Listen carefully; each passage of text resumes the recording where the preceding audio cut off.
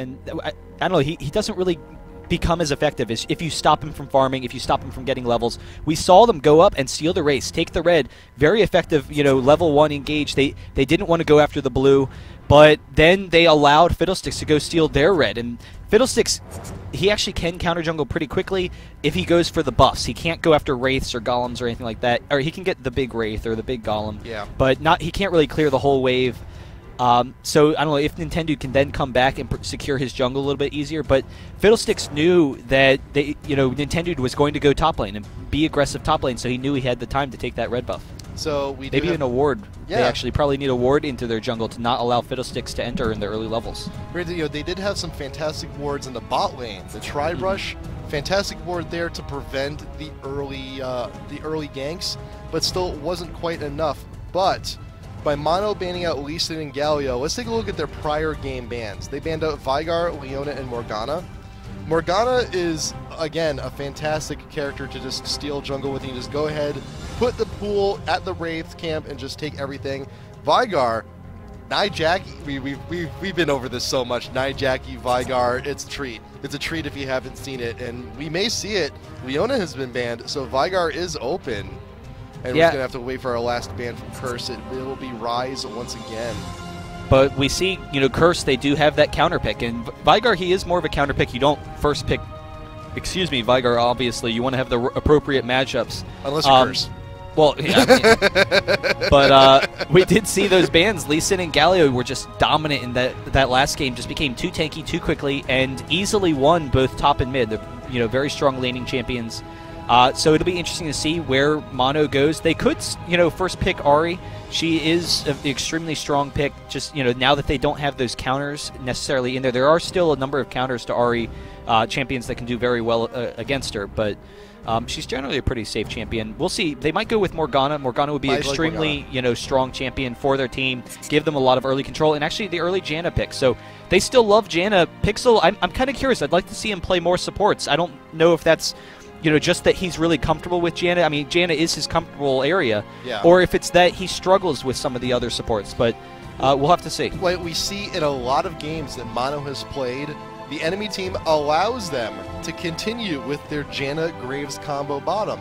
That's Mono's bread and butter right now, is that bot lane. And if teams will just give it to them, you might as well take it. So Alistar and Nocturne coming in from Curse. So a little bit a little bit of a, a change coming in from Curse. So Nocturne wonderful ult again. We have we have that ambush style ult coming in from over the wall. So we may see we may see a little bit of a change up. We may also see uh, Nautilus come back in too, possibly top lane this time.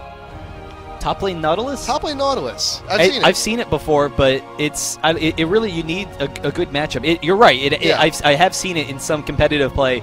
I you're just such a wishful thinker. You're I- you're sitting here. You're like a, was- a kid. You know, day before Christmas. You want to open up the Nautilus. N64. We saw them. We saw them play Nautilus. I'll, I'll do Nintendo 64 voice later. Oh, actually, There we go. Just go might just go ahead and take it out from under them. No, I mean I mentioned Nautilus because we've seen Curse play Nautilus quite a bit Yeah, no, that's true. I mean, It's he their is comfort zone. he is a very strong champion. I, I don't know that he's. We have s- actually seen Curse play him top lane as well, like you said. Yeah. Um, I, I, he's not the strongest top lane. I think we saw Dignitas play him top lane uh, also. Mm. Um, Yeah, but, but that, well, not not too much success there. or no, actually, Dominate played him in the jungle. But I, I don't know. You really need to, fit a team around them. And right now, we're seeing with Curse, Alistar, and Nocturne, they, they were comfortable with those champions. Those aren't champions that you counter very easily. So it, it does allow them to have these counter opportunities. They have their top lane open. They have their mid open. They're actually going to pick Galio top. So their mid is open where they have that counter pick. Uh, yeah, so Gangplank going top lane, Tristana bot lane with Alistar. We've seen the heal ignite from Tristana's before, so that's going to be an incredibly aggressive bot lane. So it looks like Curse going to continue the aggressive push going into game number two. It worked for them in game one. It may work for them again. We'll have to see, but Mono still has two more picks available for them right now. Mor- see, there's no Morgana pick. Morgana I- would be fantastic, but Curse is waiting. Yeah. They waited for the AP mid as their last pick. So we'll, we'll have to see what they're going to do in light of that. But I'm worried. This is actually one pick away from the exact same team, I think, as the um, uh, the Korean team. I can't remember their name. It was like uh, Zil- Zenix- Zilkis. Xenics? Oh, Xenics that was you're right. That was it. Xenics Storm. Xenics Storm, yeah. um, if they went another AD. And we, we are seeing, you know, we have an aggressive melee team from Curse that needs to engage. And Nintendo on Nautilus, he can prevent those uh, engages very easily. He's that upfront tank. They have tons of disables as their team. So, you know, it, as far as team fights con- uh, control is concerned, they can, you know, just sustain disable the entire game. And then Warwick is going to be an extremely strong top lane. Actually, has a slight advantage over Gangplank. Warwick top lane is a force to be reckoned with, but we also have Karthus in the mid against Morgana. And you know what? I think uh, and once again Morgana sticking with the cleanse. Paradoxical is getting a little a little on edge. I think he's a little bit worried. And but the thing is that there isn't really a whole lot to. I mean, we have the fear from Nocturne, but it's it's not an instant fear. We do have also the slow from Karthus. We got slows from Gangplank, and and and Alistar does all of his junk. But I'm not sure if cleanse is going to be the right choice. Well, the, the big thing is they don't want to get anyone picked off. In team Yeah. fights, if Morgana was picked off, there goes all their magic damage. There goes a t- you know ton of fight control. Uh, but if she can you know be safe in there, you know cleanse the fear, maybe cleanse a pulverize from Alistar, though it is a Oh no, so we got okay. We got the ignite. The, it was it Oh, okay. was switched. So I'm I'm kind of I'm. yeah, you're right. That, that is a much better call. To It's go a much the better call to grab the. But we are in, and we're gonna see how game two carries out. Yeah, I'm, I'm kind of curious what's uh, kind of route we'll see from Nautilus because I, I would expect he's going to go blue first. He does need that mana. Yes. Um, I, I don't know that Curse has a strong enough team to force a level one engage. We do have Janna, uh, we do have Morgana. Corki has a ton of fight uh, potential. Level one just has a lot of nice little damage. His phosphorus bomb revealing the area as well. So they are probably going to sit back and both teams just play defensively, have a normal jungle game. So right now, Mono's actually just kind of playing ring around a tower right now. Not quite sure where they're feeling to go, but Curse, they actually have the nice point defense going on. Every opening is covered. They just want to make sure that Mono does Oh, not wow. get the invade in. I hope this is what we're seeing because right now Pobelter is edging towards that bottom lane, and we do have Cop and Elements going top, and so there is a good lane matchup. Gangplank, he can farm fairly effectively against a range lane. Uh, Corki and you know Janna is a an extremely aggressive lane. He will want to allow them to push to the tower, but he will have his parlay for farm. Warwick, not so much. He's basically going to be at the whim of Tristana and Alistar in that top lane. It's going to be an extremely difficult lane for him if they decide to go with this matchup. And I'm just, I'm just, I'm just listening to Nintendo taunt.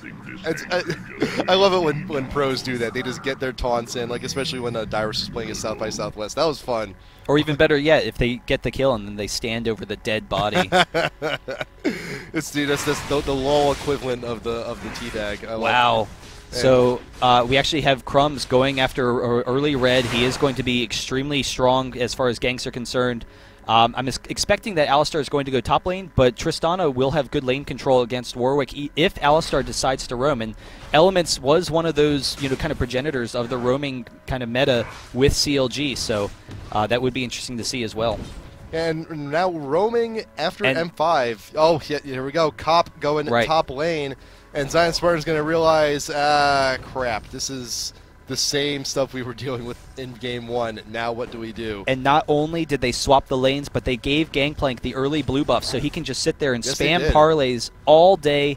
He can spam his heals now that he's level two.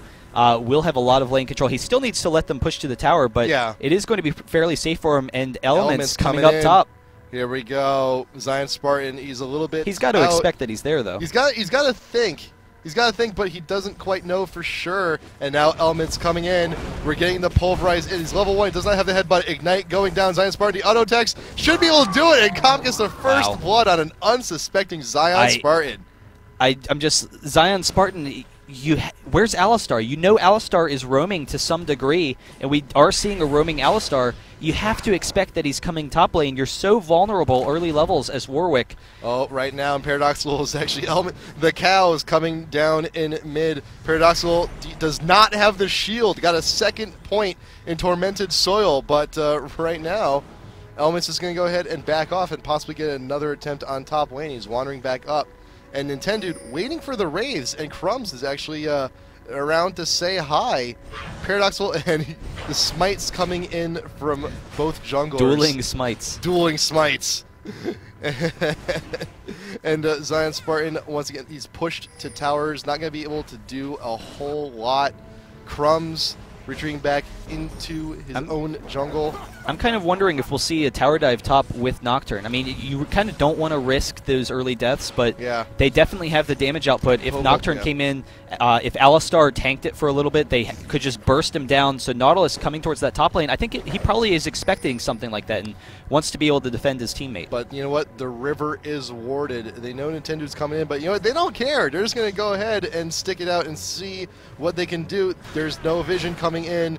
We have the vision now. Pulverize comes down. Are we going to focus on? Are we going to focus on spring in? But the teleport from Poe Pobelter coming in to help join the fight. We got four members of Curse in the top lane pushing back Mono. Will Nintendo die as well? I think he just might, and yes, he does. Will Curse just push his tower? Yeah, I, I think. Can, no, can actually, they, will probably. They I would expect they'll. They can take it if they want to. I think they might. I think they'll probably leave it up because they have Warwick at a disadvantage right now. Uh, they could push it if they want to really roam as a team early, and we actually see. Uh, we'll, we'll, see whether or not they're just damaging it or pushing it. Corki and Janna, in the meantime, uh, pushing down that tower a little bit. So, you know, Pobelter missing out on some CS, but the early aggression from Curse is just extremely effective. Uh, I think they might actually be taking this tower. I'm I don't know. I'm kind of curious. hey, hey, you take down a tower, your team gets gold. It's, I mean, granted, you know you don't have as much. Uh, you know, your lane presence is altered by not having your opponent able to go back to that tower to safety. It, it's a nice little psychological mind game. Sometimes you may just want to leave it up, just so you keep your opponent in lane. You give them that false sense of security. It's like, it's like, I may have a tower with like 100 health, but it, still, it still shoots stuff. It's still good. And it's the big reliable. Thing, the big thing with, you know, leaving the tower up early is that it's going to push the lane back to that mid position. We see top yes. lane, uh, it is sitting mid. If Warwick tries to come up in CS, it is going to push to the other side, at which point Tristana can just completely zone Warwick out of lane. So if they were able, to, if they were going to get rid of that tower, then the lane would push back for Warwick. Warwick would be able to farm at that second tower and just hold the lane there. And here we see an aggressive gank top lane once again. Warwick is going to come down and drop a ward, but Nocturne maybe coming up from behind the tower. We'll have to see whether or not he goes through with this. Oh, he Crumbs his game position. He flashes in over the tower, tries to get the fear on Zion Spartan, but he's taking tower hits the entire time. Will he be able to get away? Yes, he will, but Zion Spartan and the Karthus ult from space abusive in that bot lane. Whoa. I wow, and that's that's their strength. They know that you know they can just sit up their top lane. Uh, Mono not doing anything about it. They you really need you need to counter gank teams when they're trying this kind of aggressive stuff. But then the concern is if you start putting pressure up top lane, Curse then transitions to bottom and has a free dragon. We actually see they are pushing down this tower now, uh, just going to take that early map control. And Pobelter is generally pretty fine in this bottom lane. He's fairly comfortable. He is behind on CS, but uh, with the ganks for his team, he does get the early levels. And Zig almost going to be able to pick him up, but uh, we do have the heal from Pobelter. So once again, just perfectly safe in this bottom lane. Eats some oranges, and he's going to be fine. He gets a little bit of his health back. But uh, yeah, that's the thing. When you switch lanes, when you do 2v1s top and bot, the towers are such huge objectives. And uh, right now, Curse is actually winning that. But we have the recall, and we have Tristan and Alistar going now bot lane with the switch to defend this tower, to keep it up, and to have the presence later on for Dragon when those engagements start to happen. So that is a very good call from Curse, getting the lanes nice and equalize it back to normal, and Zion Spartan is actually trying to AFK farm as much as he can, but when he got a pirate around, it may not be that safe. I, I just love the prospect of this as a preview of what we're going to see out of Curse at IPL four, and yes. we have Curse has been an extremely aggressive team recently. They've you know made a lot of different oh, changes, a lot of different strategy ideas, and actually elements. Pixel's going down from the Dragon Pit. Elements gets the headbutt pulverize. Pixel's trying to get away. Does use the flash. Cop gets in pursuit, and the Gangplank ult there just for the insurance. And Pixel yeah. goes down the cop. But uh, going back to what I was saying, you know, we have seen elements playing Yorick in that bottom lane. We have seen some kind of I don't know, experimentation from Curse, and this is an extremely aggressive comp. They are, you know, trying the strategy. There's the headbutt from Elements, and then Crumbs is going to come in, but Paradoxical's here. He does block the ultimate with his shield, so they're chasing him down. An easy kill, and then Paradoxical has to get out of there, so this will be a free dragon for Curse. Curse is picking apart Mono in every aspect right now. They just completely destroyed top. They're picking everyone out from the jungle. Nintendo had nowhere to go. They're going to grab this dragon. They're going to have an easy 4K lead. We're not even 10 minutes in yet. This is insane. This is absolutely insane. Who's getting all the... Everyone's getting a share. Everyone's getting a piece of the pie. So everyone on Curse has an edge on every member of Mono oh, and Zig. Zig being caught out the pulverize and a headbutt, keeping him against the wall. Tristana's ult but, is but up. Elements, though, is actually getting chunked out a little bit too far, and Cop has to run away. Mono actually got the better of that battle, so I think uh, Elements and uh, Cop were a little bit too overzealous there. But That's uh, actually a little bit surprising. Yeah. I think that uh, Cop probably could have ulted Corki into the wall. It would act as a stun when you hit that barrier uh, rather than moving. Throw off the ultimate, throw off the ignite, maybe pick up the quick kill. I think the concern was if they didn't, then he's kind of Yeah. committing himself and maybe giving Zig a double kill, which is really what you don't want to do. So uh, actually just going to sit back and we will have a Cop tower to for get out of Mono. Cop needs to get out of there right now, otherwise, once that tower goes down, he's the next target. But uh, I was I was wondering, I was waiting for that ultimate from Elements, but he wasn't quite six yet. He was about 60% of the way, so he didn't have that ultimate. He did not have the damage reduction, and uh, and he just got trapped. He just got trapped there and had to take the damage from Zig. Pobelter now he's he's now free to roam wherever he wants, but there are wards, defensive wards from Mono. The binding from Paradoxical does miss, so Pobelter's going to go ahead and place some offensive wards. Oh, right we there. have Elements jumping on top of Corki. There's the quick kill, and now Pixel is definitely out of position, so Yep. we will have the Karthus Karthus ult. ultimate as well, and, And Pixel will probably go down. One more attack. Oh, Elements is going to be able to get the headbutt at the very least. But Nintendo flashes in, trying to get the damage he needs right there on Cop and Cop. Rocket jumps. the kill away. actually refreshed the rocket jump so that Cop could get out of there. Elements trying to save the kill for his carry, realized he needed to just take it real quick. And now we have Nocturne coming down as well. Kerps, uh, Crumbs, and Elements are here. There's the headbutt against the wall. The pulverize. We do have a teleport in from Warwick, so they are going to have to back out of there. We'll see if Nintendo tries to stall them a Okay, little Crumbs. bit. There's the pull, but they're going to have to back out. They just don't have enough damage. They really don't. But uh, Tristana has gone back. She is on her way. Paradoxical's floating around as well. So I think now, like, we're starting to see Mono realize, like, guys, we're being picked apart here. We need to get serious. We need to do some stuff like lane switches, getting Zig and Pixel up top lane to stop this never-ending push from Pobelter. And right, and actually, uh, is pushing up mid as well. So I think now, now we're seeing Mono rally. We're seeing them rally around the rest of the team to realizing they have to switch up their game. But I don't know, it may be a little bit too late. I don't know. We'll have to see what Curse does. They're continuing the counter jungling, continuing the aggression. Nintendo finds Crumbs trying to be a little bit of a sneak, and he may actually pay the price for it. Spell shield goes down, but it does get popped. He does ult, trying to reduce the vision. He does flash away, but there's a ward in that bush. Paradoxical Oh, comes in down. with the Morgana ult. The ignite will finish the job. But Morgana's ultimate's down, so we'll see. Curse has to back out of here. There's the pull onto Cop, and then we have the Warwick ultimate as well. So Cop is going to go down, actually able to just barely jump out of there. Pobelter slowing him down a little bit. Elements with the ultimate, they just don't have enough damage, and that's the concern when you give up so many kills early, whether or not you can take down the enemy team. And Gangplank, you know, really strong late game. He is getting pretty tanky here. There's another pull from Nintendo, and we do have the slow from Pixel, but once again, they don't have enough sustained damage. So Cop, can he get some damage uh, because they just don't have a means of getting in on him? There's the bind onto Pobelter. He's very close to going down. He flashes away. Cop able to pick up the kill onto um, Warwick. uh, Zion Spartan, and then they're actually still chasing on the rest of them. Oh. We do have another bounce on Cop. If Elements can get in with the headbutt, Pulverize is going to back up. But uh, just, I don't know, no damage output from Mono. They, I mean, they have the damage. It's just we have too tanky of a team from Curse now because of how many kills they got early in this game. And you know what? They could have cleaned up all the rest of that, but Cop missed the rocket jump over the wall just a little bit in the wrong position. Could not pursue, could not finish it up. But you know what? Curse made their point. Mono, they're they're not winning these team fights right now. That was pretty much everyone from both teams. Mono did not end out ahead in that at all. And Curse is going to go ahead and continue the push up in mid. And now they're just going to go ahead, fall back, regroup, get everyone together, and try maybe force another one of those team fights. And I think the concern for Mono is going to be how are they going to win fights coming into this mid game. We have Tristana with the fantastic range. She has her damage built up. They will have great tower pushing capability with the range and Tristana, and then all these disables on their team. Then we've got Karthus. He's built the early Rod of Ages, so he's going to be extremely tanky as well. Even if they kill Karthus, he's just going to sit there with all of his AoE damage. That's going to be extremely difficult for them to deal with. We actually have Crumbs being extremely aggressive, trying to come in. There's the shield, and Paradoxical is going to be able to get out of there. But in the meantime, time Cop is pushing down this mid tower. Uh, we'll be able to take it the next wave because Alistar is coming down here. We'll see whether or not Mono can engage a fight.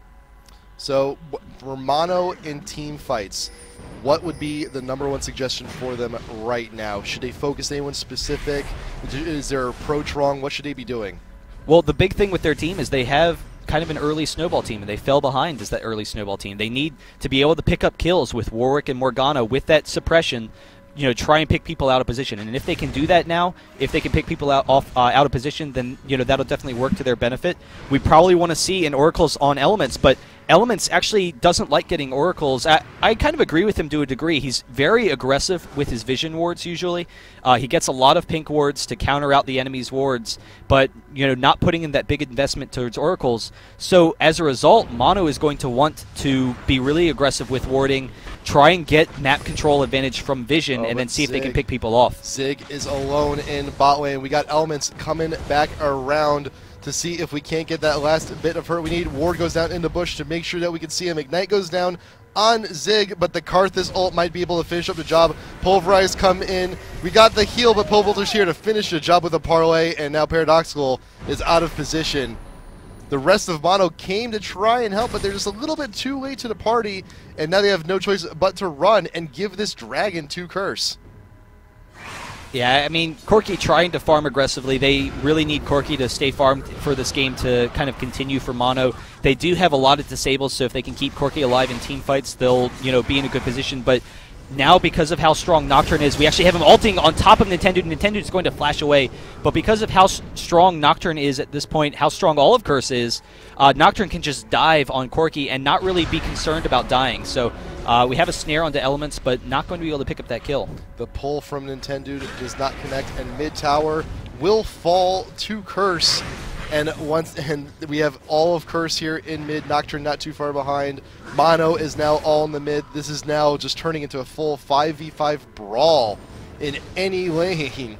They're just moving as cohesive units, but Mono desperately trying to catch up wherever they can and not being able to do it. In the meantime, Curse just taking all the objectives they need to. They've got the mid tower, they grabbed a dragon earlier, and they're winning these team fights. I'm not. I, Mono is just over time, just just losing it to this massive snowball running down the hill, and they they we may be hitting the point of no return very soon. Yeah, Corki is farming fairly effectively despite all the pressure that Curse has. Uh, that's one thing, you know, Tristana, she's been kind of running around trying to get kills. Yeah, and she's, so, she's succeeding, though. She's yeah, no, definitely exceeding. Um, I don't know. It, if we see once we have the Zhonya's from Morgana, that'll be the point where we'll see what Mono can do. Uh, if they can have a really aggressive engage, try and pick up some kills, that would be fantastic. I think after we see the uh, Infinity Edge from Tristana, we might see an early Quicksilver Sash because that's really the only way that Mono is going to win a fight, is if they can get that suppression from Warwick or get that ultimate from Morgana onto one of these key figures like Karthus or Tristana. And Tristana, you know, once she goes down, she's not going to be sitting there dealing damage to you in, you know, the afterlife. Unlike Karthus right, right, there, who's got you know, that is his passive. Once he dies, he can actually still do a whole bunch of stuff before his uh, death timer actually starts to tick. He can get his ult off, and all that mana is free while he's in that little death period. So we've got a lot of damage output from Curse right now, 17 minutes into the game. Mono's going to try and push up this mid tower, but all that lay waste, all those skills, just going to go ahead clear the waves of minions, preventing them from doing so. Curse is in a fantastic position right now, and they're just going ahead and working to that advantage. Yeah, it will be extremely difficult for them to push down this tower, but that's what Mono wants to do. They want to I don't know, kind of force Curse out of position. We might see them switch towers. I don't know if they're going to aggressively try and Oh, push this. Right now, Zion Spartan is actually running from behind the tower. Can we get the ult in on someone? Who's he going to pick? He doesn't know. He's a little bit of a confusion state here. He doesn't know quite who to ult, but Crumbs does come in with the ult. Karthus ult going down. Janna ult getting a little bit of heal, but it's not going to be enough to save Paradoxical. And now we're in a full retreat from Mono. Cop comes in with the rocket jump. Spartan does have to flash away, and Curse is going to continue with this push. All five of their members are still alive. We got some. We got the howls going off though. We know Night Jackie's a little bit low, and the ult from Warwick is just. There, we saw nothing. He was going around the tower to try and get the jump, and nothing happened. Yeah, and Curse can just slowly pressure Mono at this point. Uh, they are going to take this blue, probably go with bot lane. We do have the pull on the cop, but just not enough damage to follow it up. And now Element's coming in. We'll get the pulverize after the headbutt, and Nintendude is going to go down, throws off his ultimate. We do have Nyjacky pretty close to going down, but they are all going to be uh, okay there, just going to back up and continue to pressure their advantage. And Crumbs takes the Wolves. The end. Uh, And that's the way it and that's the way it was, and that's the way it will be. I know. I, I, I had to, I had to make a nice little comment. It's like everyone's team fighting in mid. What's Crumbs doing? Oh, no, nothing huge. I'm just taking the walls. Don't, don't mind me. No, I enjoyed it. and you, you threw in like the little Uh, Walter Cronkite with it, so it was yeah, it, it, was, worked. it was good. It worked. We made it work. But yeah, we Yep. um, I don't know, just too much damage from all of Curse right now. Too tanky. We do have a uh, Giant's Belt going onto Gangplank now, so he's going to be extremely difficult to handle. Tristana has all of that DPS. She probably could be a little bit higher if she had you know a little bit more farm, but all those kills really adding up. Um, I don't know. It's it, it seems like an insurmountable task for Mono right now, but we have seen some extremely aggressive Baron tactics from Mono. Uh, a lot of interesting stuff. It'll be I don't know. I, I'd, I'd like to see a comeback. I mean, you know, hey, who wouldn't? That would be one of the greatest comebacks ever. It would be pretty impressive. And if Mono can actually get, if they can get a Baron, or if they can get a Baron steal, they have a shot. It's Right. nothing guaranteed, but it'll definitely help them big time. They just need to get the engage they need, and they need to be able to catch someone off guard. Because right now, they don't know it, but they're actually, they could engage a 5v4 here by drag, by a Baron, because Tristana is alone at bot, and we may actually be seeing that right here. Mono chasing down Pobelter and Elements chasing down away from the Baron pit, and Karthus in mid with Paradoxical, and the ult going down from Morgana. We're gonna get the stun off on Night Jackie. We're gonna keep him in position. Death March going down, and just Night Jackie gets smacked right in the middle of the map. Ultimate going down for a guaranteed damage, and Crumbs comes in with the quick ult and finishes off Morgana. And we got it's a 4v2 here in mid for Mono's favor. Elements and Crumb being chased away, but that tier one Gangplank's tower. teleporting in though. Oh, yes, he is right in the middle of everything. Ult going down, slowing down all of Mono. Nintendo does fall, and here's Tristana. Here's Cop to save the day. We got the flash away. Warwick does go down to Nocturne. Mono has to retreat. Cop, Mono has to retreat because Cop is here to save the They're day. actually going to go for Baron. and we so, got the Baron. Uh, you know, they don't really want to pressure Baron when they know Mono's up because if Mono does get that Baron steal, there's really no need for it. You're so far ahead, but Yeah. the free Baron here will allow them to just continue those pushes down mid. They won't have to be too much con- uh, concerned about any poke from Morgana. Janna going to try and Oh, stall a bit, but Pixel. Janna is definitely going If to go Pixel down steals this, this is going to be the best steal in the world. Will we be able to get it out? Tornado coming down. We have vision. There's a pick ward. No, the tornado's just a little bit too late, and Pixel will pay the price for it. Maybe Oh, not. wow. Whoa, look at that flat. Well, Crumbs Crumbs, is here. him, though. Oh, the cue from Crumbs finishes the job. Yeah, and with all that gold, with the Baron, they are going to be able to pressure down this mid, and they do have a really strong team at pressuring towers. Gangplank coupled with Tristana. Tristana has the range. I believe this is probably a surrender. That there is it a is. surrender vote. Curse winning game number two, 2-0 in their series against Mono. GG.